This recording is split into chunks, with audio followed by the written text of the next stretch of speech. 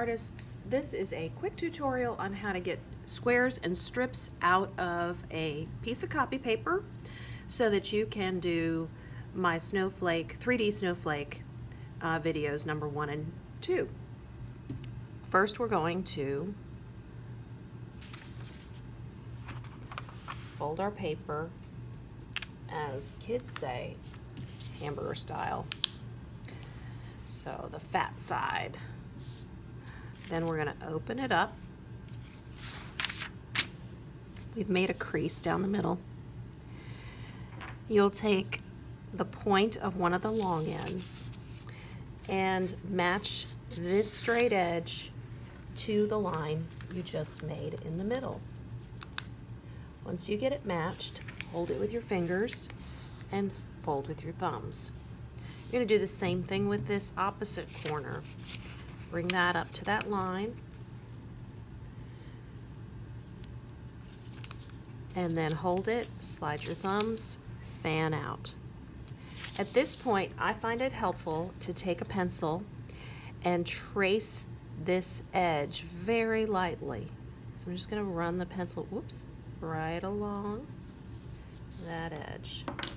And then I unfold this side of the paper. Okay, now I've got my cut lines. I'll start with the pencil edge.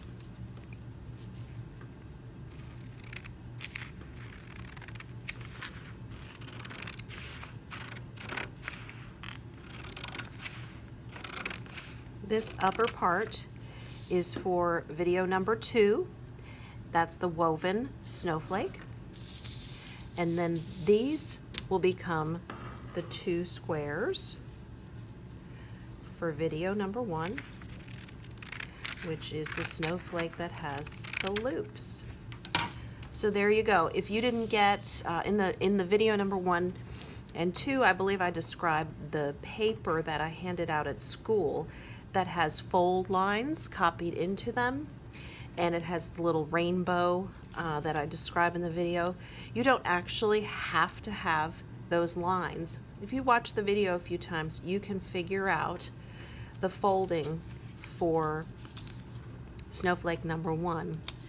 Fold corner to corner, then go on the hypotenuse of this right triangle and fold one tip of the hypotenuse to the other tip of the hypotenuse. And then do that again. You have a new right triangle, and here's your hypotenuse. To take the tip of the hypotenuse to the tip of the other hypotenuse. And then as I describe in that video, just hold that tight folded end, not the three, and you'll cut off this corner. Then you're going to flip it around and you'll cut in two rainbow type lines and open it up. So you don't actually need the lines that I drew in class and handed out. You could do this on your own just fine. And then you start gluing and watch that video number one for all the other instructions. So two of these and then one of these becomes the 12 strips for your woven snowflake. So that's how to get those out of a piece of copy paper and again this is the entire waste of this project. It's amazing use of resources. Have fun making your snowflakes.